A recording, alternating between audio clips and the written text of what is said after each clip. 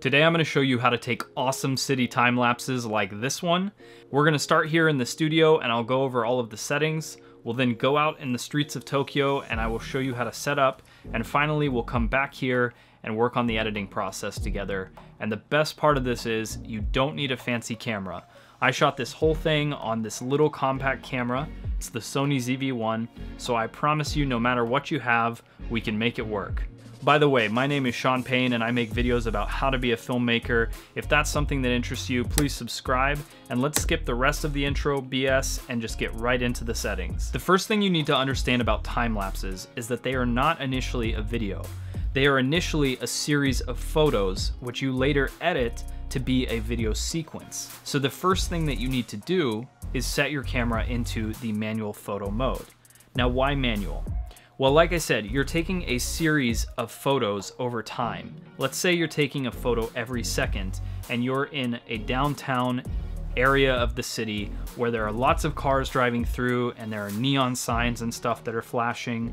Well, every single second, that scene is going to be changing. So we want to lock everything into manual so that we get a consistent exposure and a consistent white balance throughout the entire shooting process. Now the next thing I recommend doing is setting your camera up in RAW and then choosing your image size.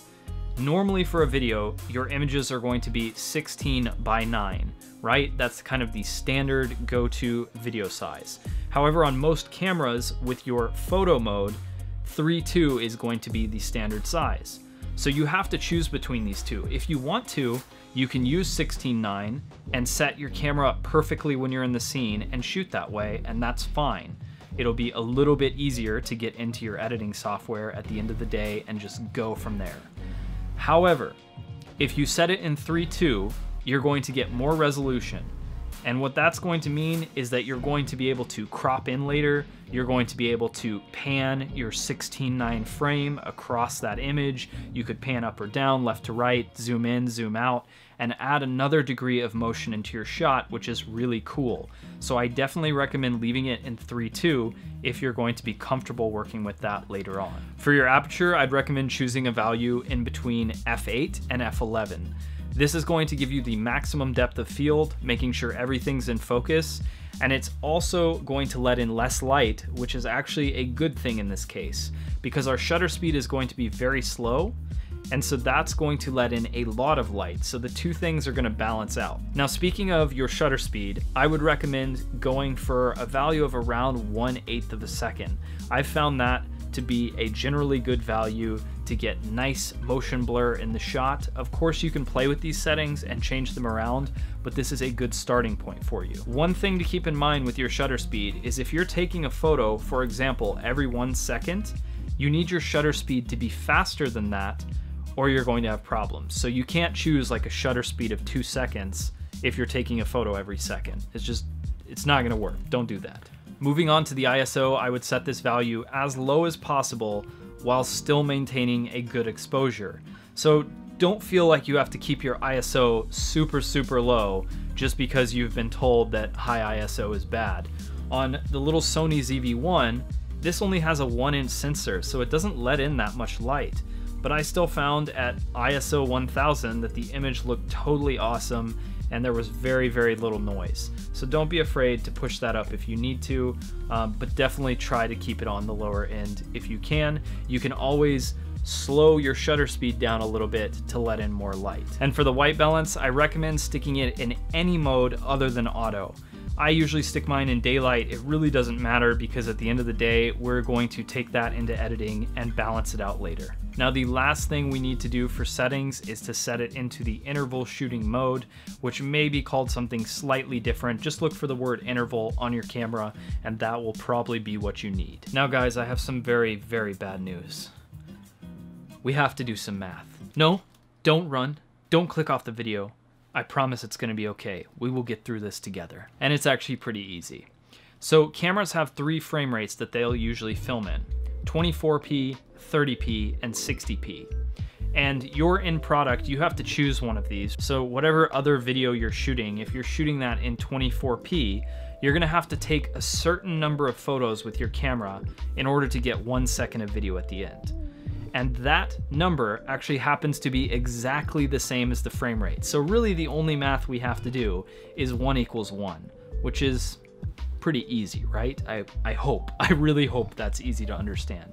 But if you want one second of video and you're shooting in 24p, you need 24 photos. If you want one second of video and you're shooting in 60p, you need to take 60 photos.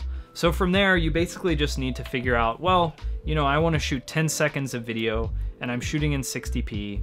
So I know I need 60 photos for one second. So if I want 10 seconds, I need 600 photos. And then you know how many photos you need to take in your time lapse in order to get the length of the time lapse that you need for your final video. It's good to figure these things out ahead of time because you wanna know how many seconds of video you're gonna get out of your shooting. If for some reason I didn't explain that very well and I made one equals one turn into difficult math, please let me know in the comments and I will be happy to elaborate a little bit more. All right, so I'm down here in Shinjuku, Tokyo, and I'm at a fairly famous location where we're going to take our first time lapse. Now, before I even set up my tripod, I'm gonna be thinking about composition with just the camera because it's much easier to move around and change your scene when you're not having to completely relocate a tripod and rebalance everything. So I'm gonna do that now, and then we'll get this time lapse set up. Now, one thing I'm noticing is that right down here, we have a bar that's separating the two roads. And so I'm gonna go for a very flat composition and that bar needs to be aligned perfectly in the center with my camera. That's the composition I'm gonna go for. Obviously you can get as creative as you want, but we're gonna keep this simple today just to demonstrate this topic. All right, so I'm just getting my composition dialed in here and zooming in a bit. All I have to do, I've already got all of the settings set up and ready to go that I showed you from the studio. So now we're just gonna set the interval timer, we're gonna hit go, and it's gonna do everything for us. All right, all we have to do now is take our photos and turn them into a video sequence. I'm going to be using Adobe Lightroom and Premiere Pro.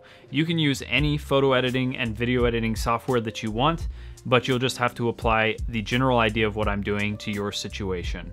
Okay, so once you have all of your photos loaded into your computer, you're going to go down to the bottom left of Lightroom and hit the import button. Once you're in this area, you look for the folder that you have all of your photos in and you hit the import button at the bottom right and that's going to bring in all of your photos. Once you have all of your photos loaded into Lightroom, take a look at the bottom and just make sure that the sorting is done by capture time so that these are going to be in the correct order for your time lapse. Click on your first photo and go to the Develop tab. Make any sort of color or contrast changes that you want to, as the default is probably not going to be the look that you're going to want for your final images. Once you're happy with the coloring and the contrast that you've done, go down to the bottom left and hit copy and you can check whatever settings you want. I'm gonna go ahead and copy pretty much everything. Go back to the library and unclick from that photo and you still have tons and tons of photos that don't have any coloring done.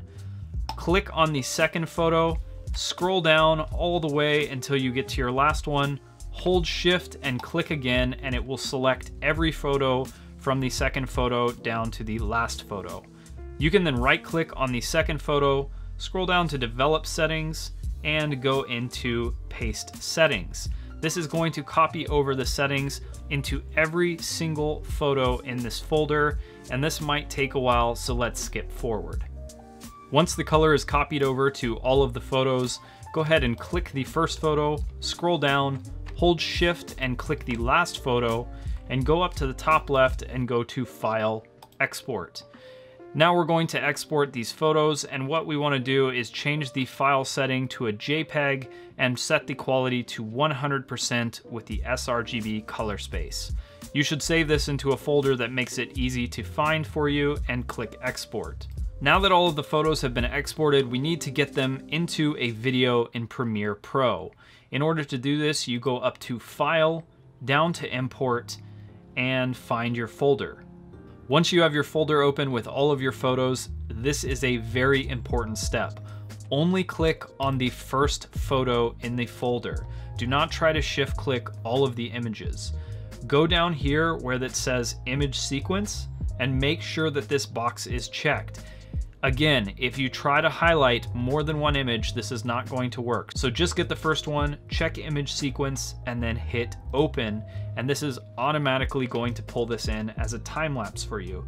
One important thing to understand about Premiere is that it copies whatever settings are on the first clip into the timeline settings. So if I drag this clip that I shot in my studio, this is a 1920 by 1080 file, and if I go to the top left to the sequence menu and hit sequence settings, I can see it's 24 frames per second, 1920 by 1080, which is exactly what I want. When I go to copy in my time lapse, it's now going to be fit into this 1920 by 1080 box and it's going to be in 24 frames per second. Now, if I need to resize this because it's very zoomed in, I can go into the effect controls panel and I can scale that back and reposition as needed. Now, if on the other hand, the first thing you do is drag in the time lapse, it's going to be in a 3-2 aspect ratio. And if I go to back to sequence sequence settings, now it's in about 29, 30 frames per second and the frame size is all screwed up. I can edit that in the sequence menu, but I find it much easier if you start from a blank timeline and load in some footage that's already the right format so that when you drop in your time lapse, it is already in the correct settings and you can scale quickly and move on from there. And now this is totally ready to go. You've done it, you've made a time lapse. Give this video a big thumbs up if this was helpful for you, and consider subscribing if you want to learn more about filmmaking. Catch you next time. Peace.